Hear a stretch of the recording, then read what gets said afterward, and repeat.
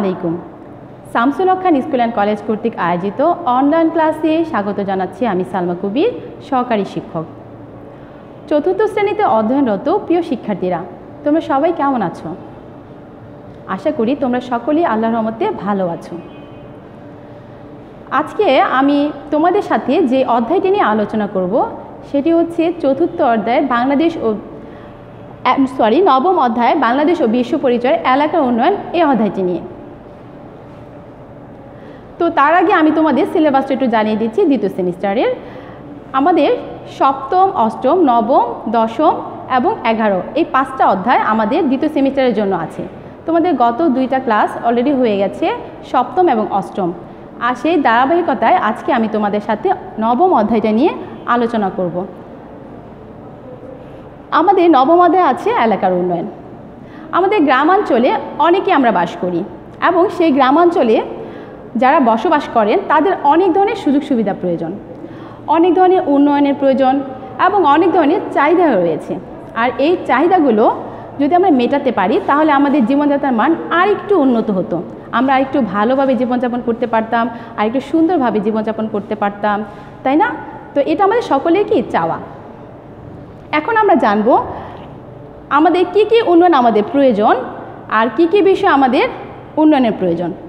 তো আমরা এখন দেখতেছি আমাদের সামাজিক পরিবেশের উন্নয়নের জন্য গ্রামাঞ্চলে কতগুলো কতগুলো সুযোগ সুবিধা প্রয়োজন এবং সেই সুযোগ সুবিধাগুলো কি কি আছে? এক নম্বর দেওয়া আছে শিক্ষা প্রতিষ্ঠান। আমাদের শিক্ষা প্রতিষ্ঠান সকলেরই প্রয়োজন। সেটা হোক গ্রাম অঞ্চলে বা সেটা হোক শহরাঞ্চলে। তারপর দেওয়া আছে দুই নাম্বার স্বাস্থ্য সেবার ব্যবস্থা।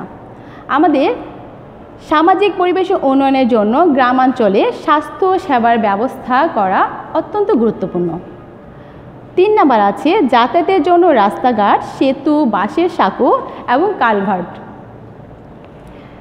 গ্রামাঞ্চলে এই সুবিধাগুলো খুবই গুরুত্বপূর্ণ। নিরাপদ খাবার পানির জন্য নলকূপ। আমাদের দেখা যায় যে আমরা নিরাপদ খাবার পানির জন্য সরকার কিন্তু আমাদের শহর অঞ্চলে দেখা যায় যে পানি সরবরাহ পানি পাইপের পানির পাইপ লাইনের মাধ্যমে পানি সরবরাহ করে থাকে। এবং এই পানিগুলো কিন্তু আমরা শহরাঞ্চলে পেয়ে থাকি না। যার ফলে আমাদের নিরাপদ খাবার পানির জন্য নলকূপ খুবই গুরুত্বপূর্ণ। তারপর আছে প্রতিটি বাড়িতে স্বাস্থ্যসম্মত পায়খানা। হ্যাঁ এটা খুব ইম্পর্টেন্ট একটা পয়েন্ট কারণ আমাদের সকলেরই প্রতিটি বাড়িতে স্বাস্থ্যসম্মত পায়খানা থাকা প্রয়োজন। যেমন আমরা শহর অঞ্চলে আমরা কি করি? শহরাঞ্চলে আমরা যেরকম টয়লেট ব্যবহার করি, ঠিক সেই রকম আমাদের গ্রামাঞ্চলে ঠিক সেই রকম আমাদের গ্রামের বাড়িতে স্বাস্থ্যসম্মত পায়খানা থাকা নিশ্চিতকরণ করতে হবে। ছয় নাম্বার আছে, ময়লা ফেলার জন্য নির্দিষ্ট জায়গা। আমরা যখন ময়লা ফেলব, তখন আমরা এলোমেলোভাবে বিভিন্ন জায়গায় ময়লা ফেলব না। আমরা ময়লাটা কোথায় ফেলব? অবশ্যই নির্দিষ্ট একটা জায়গায় ময়লা ফেলব। সাত নাম্বার আছে, জলাবদ্ধতা মুক্ত রাখার জন্য নাল বা খাল। জলাবদ্ধতা মুক্ত রাখার জন্য নাল বা খালের কিন্তু অবশ্যই প্রয়োজন। দেখা যাচ্ছে যে আমাদের গ্রাম অঞ্চলে বর্ষাকালে যখন বৃষ্টি হয়, তখন কিন্তু অনেক পানি জমে থাকে। যার ফলে আমাদের কি হয়? আমাদের চলাচলে অসুবিধা হয়। আমাদের সেটা কি মোটেও ভালো লাগে না, তাই না? তো এজন্য আমরা কি করব? আমরা যখন নালা ব্যবহার করব, এই নালার মাধ্যমে আমাদের পানিগুলো কি অন্য কোথাও চলে যেতে পারে। তারপর দেখা যাচ্ছে যে খাল আছে। এই খালের মাধ্যমে কি হয়? এগুলো নদীতে চলে যায়। নদী থেকে অন্য কোথাও চলে যেতে পারে। তখন কি হয়? আর আমাদের জলাবদ্ধতা থাকে না। এই যে জলাবদ্ধতাতে থাকছে না, অর্থাৎ পানি আটকে থাকে না, যার ফলে আমাদের রাস্তা চলাচল কি খুবই সুবিধা হয় এবং আমাদের কি পরিবেশটা সুন্দর দেখায়। তারপর দেওয়া আছে আট নাম্বার পুকুর। পুকুর আমাদের গ্রামাঞ্চলে খুবই গুরুত্বপূর্ণ একটা বিষয়, কারণ দেখা যায় গ্রামাঞ্চলে পুকুরের ব্যবহারটা খুব বেশি হয়। পুকুরের পানি দিয়ে আমাদের দৈনন্দিন জীবনের কাজকর্মগুলো কিন্তু করা হয়। এজন্য পুকুর আমাদের জন্য খুবই গুরুত্বপূর্ণ। তারপর আছে ফসলের ক্ষেত্রে পানি সেচের ব্যবস্থা। ফসলের ক্ষেত্রে পানি সেচের ব্যবস্থা করাও গ্রামাঞ্চলের আরেকটি গুরুত্বপূর্ণ অংশ। দশ নম্বর আছে বিদ্যুৎ সুবিধা। আমরা দেখছি যে আমরা আমাদের চারপাশে যা কিছু আছে সব কিছুই কিন্তু বিদ্যুতের মাধ্যমে চলছে। যেমন আমাদের টিভি, আমাদের কম্পিউটার, আমাদের যোগাযোগ ব্যবস্থা, আমাদের তথ্য প্রযুক্তির ব্যবস্থা এই সব কিছুই আমাদের কি? সুবিধা দিচ্ছে এই বিদ্যুৎ। আবার আমাদের সকলের জন্য কিন্তু ইন্টারনেট একটি গুরুত্বপূর্ণ একটা অংশ। কারণ ইন্টারনেটের মাধ্যমে আমরা অনেক গুরুত্বপূর্ণ জিনিস জানতে পারি, সেটা কীভাবে নতুন নতুন তথ্য জানতে পারি, তারপর হচ্ছে নতুন নতুন জিনিস জানতে পারি। যেমন কৃষকেরা গ্রামাঞ্চলে দেখা যায় যে কৃষকেরা যখন তারা নতুন নতুন সে চাষাবাদের ব্যবস্থা করে, তখন দেখা যায় সে সম্পর্কে জানতে পারে। নতুন নতুন প্রযুক্তি সম্পর্কে তারা জানতে পারে এবং নতুন পদ্ধতির চাষাবাদ তারা করতে পারে। শুধু তাই নয়, বিদ্যুৎ সুবিধা থাকলে একটি এলাকার উন্নয়ন হয়, তারপর হচ্ছে তোমার সেখানে কলকারখানা সৃষ্টি হয়, নতুন নতুন কর্মসংস্থানের সৃষ্টি হয়। আর এই জন্য বিদ্যুৎ সুবিধা আমাদের অনেক গুরুত্বপূর্ণ। তারপর আছে ধর্মীয় প্রতিষ্ঠান। আমাদের আমরা প্রত্যেকেই জানি যে আমাদের ধর্ম পালন করার অধিকার আছে এবং এই ধর্ম পালন করার জন্য আমাদের যে ধর্মীয় প্রতিষ্ঠানগুলো রয়েছে সেগুলো দরকার এবং সেই প্রতিষ্ঠানগুলো কি কি? মসজিদ, মন্দির, তারপর হচ্ছে তোমার গির্জা, প্যাগোডা। এই যে এইসব জিনিসগুলো আমাদের সমাজে অর্থাৎ আমাদের গ্রামে খুবই গুরুত্বপূর্ণ। তারপর আছে সাংস্কৃতিক প্রতিষ্ঠান। সাংস্কৃতিক চর্চা করা, নাচ, গান, অভিনয় করা, তারপর হচ্ছে বিভিন্ন ধরনের বিনোদনের ব্যবস্থা করা, এগুলো হচ্ছে কি আমাদের এই সাংস্কৃতিক প্রতিষ্ঠানে বিভিন্ন জায়গায় দেখতে পাওয়া যায়। আমরা যদি একটানা কাজ করে থাকি, তখন দেখা যায় আমাদের খুব একঘেয়েমি লাগে, খারাপ লাগে। তখন যদি আমরা একটু নাচ, গানে অংশগ্রহণ করি বা বিনোদনের ব্যবস্থা করি, চিত্রাঙ্কনের ব্যবস্থা আমরা করতে পারি, সেখানে অংশগ্রহণ করতে পারি, তখন কি আমাদের সেই একঘেয়েমিটা চলে যায়। এজন্য সাংস্কৃতিক প্রতিষ্ঠানের ক্ষেত্রেও কিন্তু গ্রামাঞ্চলে এটার গুরুত্বপূর্ণ একটা অংশ। তারপর আছে হাট বাজার হাট বাজার আমাদের দৈনন্দিন জীবনের বিভিন্ন চাহিদা মিটিয়ে থাকে। দেখা যায় যে আমরা বিভিন্ন জিনিস কেনার জন্য, অর্থাৎ ক্রয় করার জন্য আমরা হাট বাজারে যাই। এবং এই হাট বাজার কিন্তু আমাদের জন্য আমাদের অত্যন্ত গুরুত্বপূর্ণ। তারপর আছে, চোদ্দ নম্বর আছে খেলার মাঠ। আমাদের সকলেই ভালো লাগে যখন আমরা খেলতে যাই। বিভিন্ন ধরনের খেলা আছে, যেমন ক্রিকেট খেলা ফুটবল খেলা, তাই না? যদি আমাদের খেলা মাঠ না থাকতো, তাহলে কি আমাদের ভালো লাগতো? অবশ্যই ভালো লাগতো না। তারপর দেখো, এই যে আমাদের, যদি এই সুবিধাগুলো যদি পর্যাপ্ত না হয়, আমাদের যে এখানে চোদ্দোটা আমরা সুবিধা দিয়েছি গ্রামাঞ্চলে, এটা যদি আমাদের সুবিধা না হয়, তাহলে আমরা কি করতে পারি? স্থানীয় জনগণের মাধ্যমে তা ইউনিয়ন পরিষদের চেয়ারম্যান এবং ওয়ার্ড মেম্বারকে জানাতে পারি।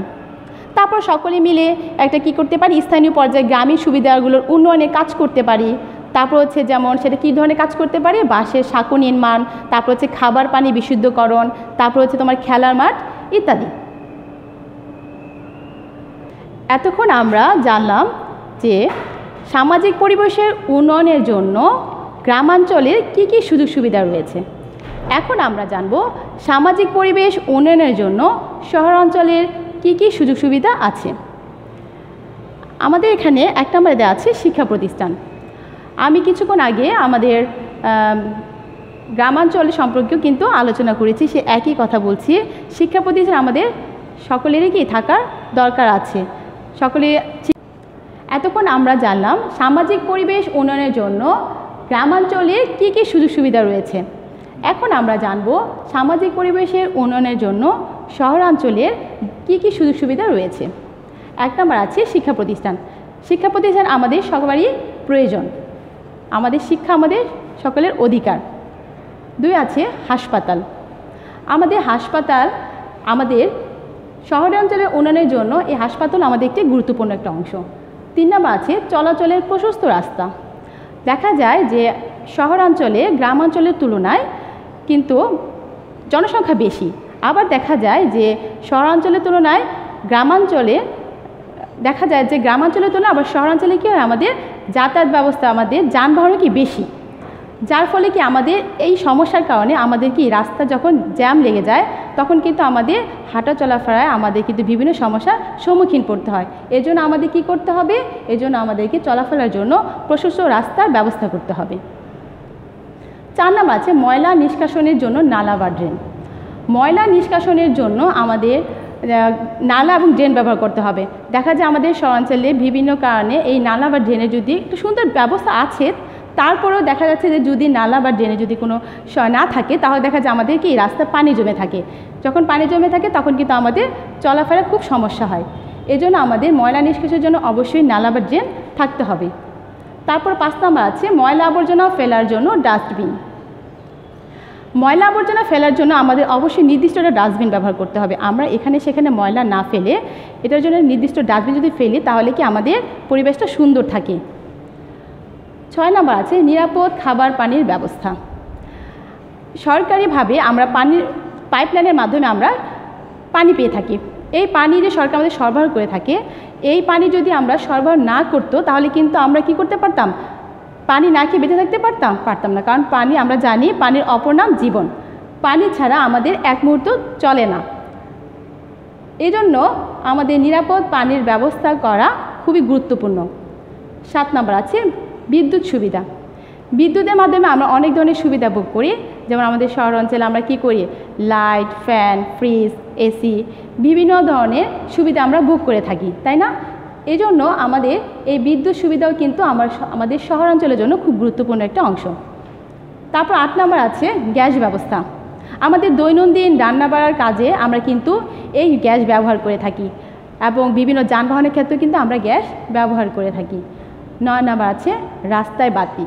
হ্যাঁ আমাদের দেখা যায় আমাদের শহরাঞ্চলে আমাদের লোকজন আমরা যেরকম চলাচল করি ঠিক দিনের বেলা যেরকম চলাচল করি ঠিক তেমনি রাতের বেলা কিন্তু এরকম লোকজনই দেখা যায়। যার ফলে রাতের বেলা যদি আমাদের লাইট না থাকতো তাহলে কিন্তু আমাদের কি হাঁটা চলাচল প্রায় সমস্যা হতো এবং আমরা একটা নির্দিষ্ট গন্তব্যে পৌঁছাতে পারতাম না।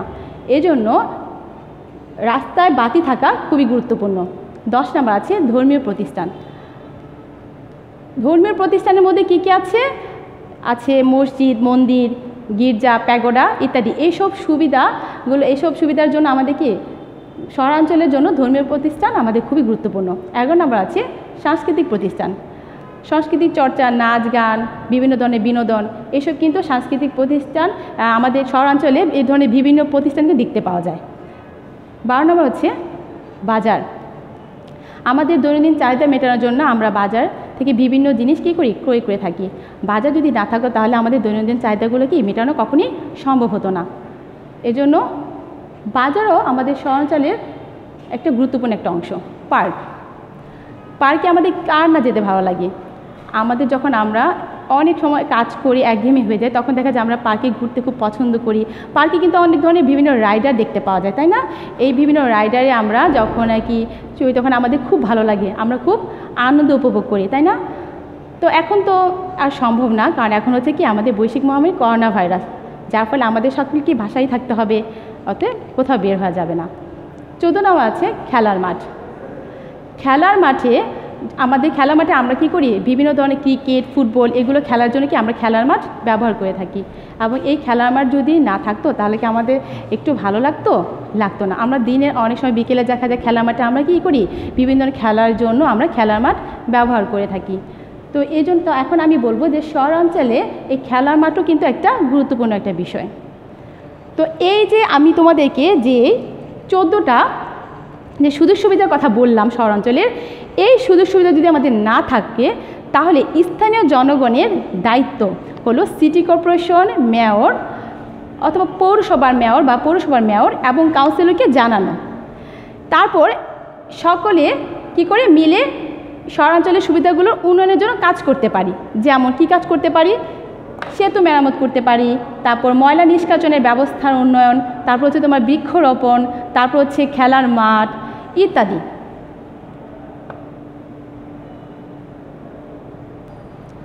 এখন তোমাদের আজকে কিছু বাড়ি কাজ দিয়ে দিচ্ছি নবম অধ্যায়ের উপর। এক, এলাকার উন্নয়নে আমাদের ভূমিকা কি হওয়া উচিত? দুই, এলাকার কোনো কিছু মেরামত করার দায়িত্ব কার? তো আজ এ পর্যন্তই। তোমরা সবাই বাসায় থাকবে। ধর্মীয় যে কার্যাবলীগুলি আছে সেগুলো পালন করার চেষ্টা করবে মা বাবার কথা শুনবে বড়দের শ্রদ্ধা করবে, ছোটদের ভালোবাসবে। আর আমি আবারও বলছি, ঘরে থাকবে ঘরে থাকবে ঘরে থাকবে। ধন্যবাদ সবাইকে।